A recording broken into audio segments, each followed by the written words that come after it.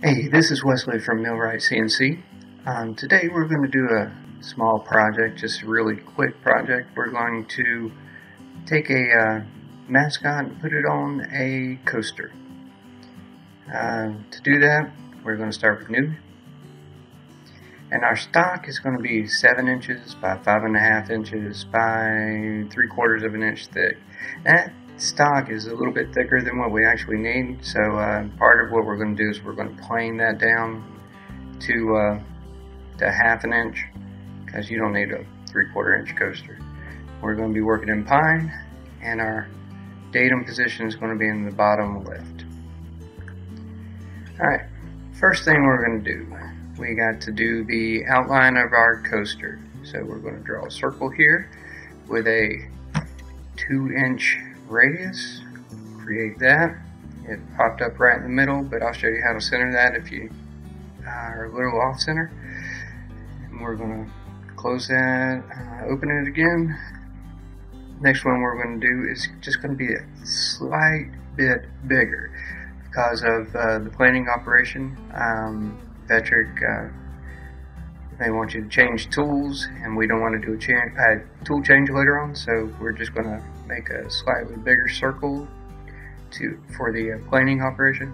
So we're going to create that, wrap it around there, close that out.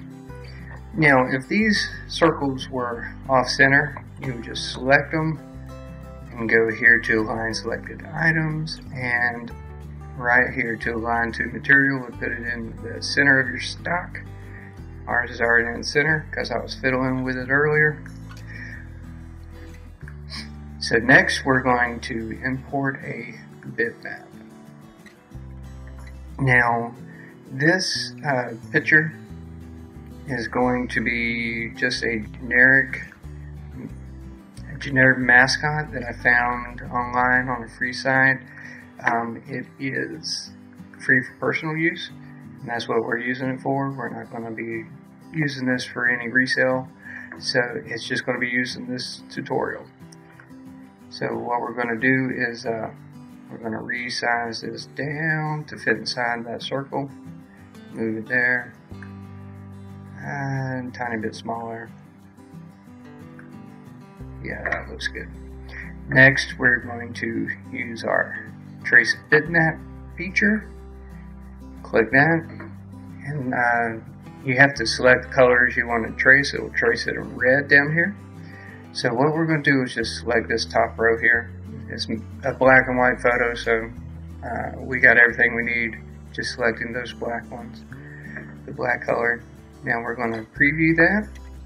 You see the outline, the red, apply, and close. Excuse me. Now we're going to go to layer and turn off this bitmap layer. And now we're just left with the tracing. You can center this inside of the circle. Just select your trace, your bitmap, select the circle, go back to this alignment, and you're going to align to selected. And because we selected the circle last, it'll align it to the circle. There, now it's in the center come down here to close and that is all we have to do to get ready. So we're going to go over here to this side, the toolpath setup, and we're going to select this outer circle here. Then we're going to use a pocket toolpath.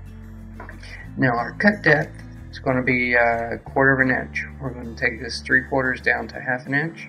I'm going to use this one fourth end mill here and we got it at 400 inches a minute for the uh, for the XY, something that again our Mega V can easily handle, and then we have 120 on the plunge rate.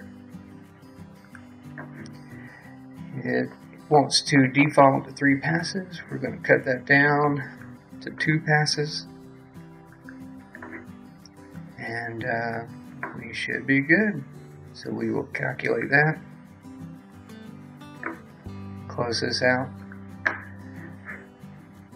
Next thing we got to do is we got to is going to make us change our tool. So we're going to try to keep that one quarter inch end mill in there as long as we can before we have to change out to the V-carve. So we're going to go ahead and do our, our profile toolpath. Now, it is going to cut all the way through, so our cut depth is uh, 0.75 inches. We still have our quarter inch end mill set to what we set it to previously. Number of passes we can cut down quite a bit. Make it four passes. We're going to add some tabs.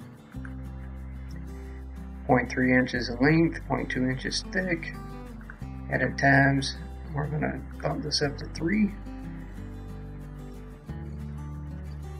So, 1, 2, 3. Nice and anchored. Close that out. We're going to calculate this. close that out. Last thing we're going to do is we're going to do the actual V-carve engraving. So we'll select our bear, V-carve engraving. We have to allow for that quarter inch we took away, so our start depth is going to be 0.26, just a little bit below, just give us some better definition in the in the V-carve. We got our uh, 90 degree quarter inch bit, and uh, similar to 400 inches a minute, 120 plunge rate. And we will calculate that. Now, one thing we don't want to do, like I told you before, is switch our uh, our tools from the collet. We're going to try to keep the quarter inch end mill the whole time until we have to switch to the V-car, to the V-bit. So what we're going to do is this pocket here wants to use a 1 8 for the outside finishing pass, but we're not going to do that. Since we are using that outside circle, it will, it will not need the 1 8 to clear out that circle.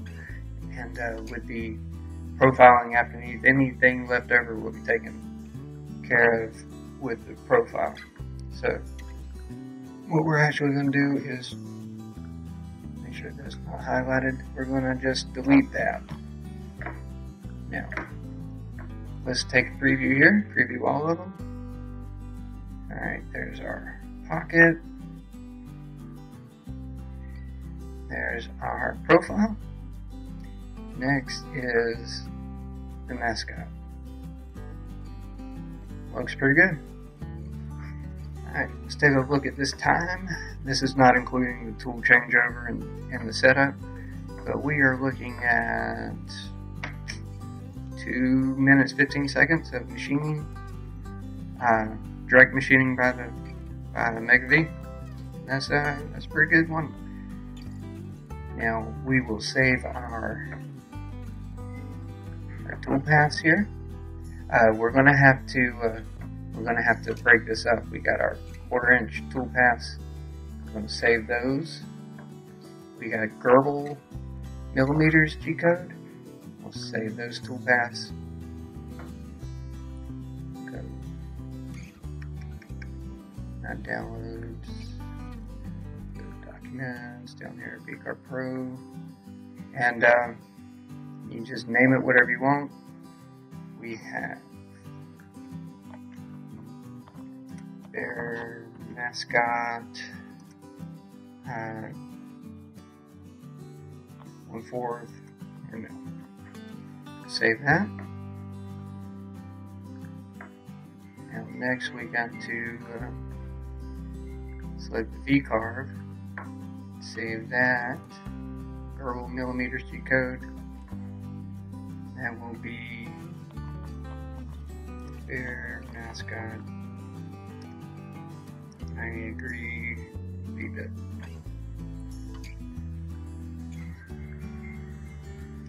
Well, there you go. The only thing left now is to run it.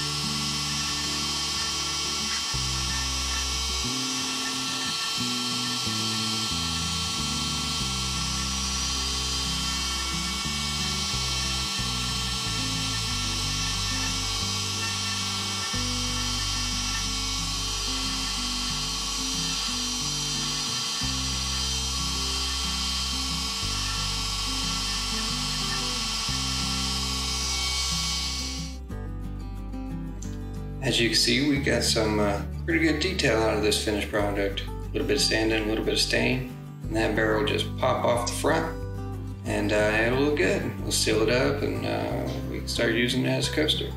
And, uh, on yours, you can paint it however you want, you know, team colors, what have you.